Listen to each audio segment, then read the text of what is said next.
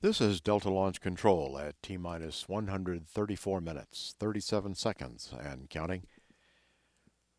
The countdown picked up on schedule this morning for the launch of the Delta II rocket with Grail.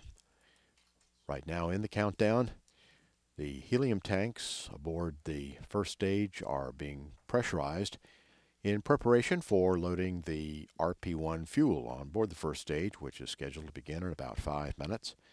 The RP1 is a highly refined kerosene fuel, and that will be followed by loading the liquid oxygen on board. Right ahead of that, we will have a weather briefing for this morning. And at this time, everything is proceeding on schedule for a liftoff at 8:29 a.m. To be precise, will be just 45 seconds past the 829 mark at 829.45 for ignition of the main engine on the Delta rocket. The Grail spacecraft reports that they are go for this morning's launch, and right now in the countdown, the spacecraft test team is on station.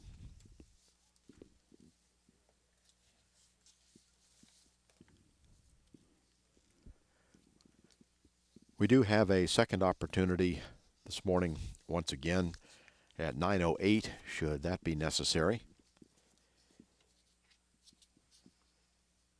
At this time we are planning for 8.29 and no indication at this point in time that we will be needing to target that second opportunity at 9.08. Weather appears to be generally favorable. And right now, the uh, Balloons are being released to assess the upper level winds. And in about another hour, we'll have uh, our launch director, Tim Dunn, come over and give us a status. So now we will join the launch team and hear the preparations for loading the RP-1 fuel aboard the Delta first stage.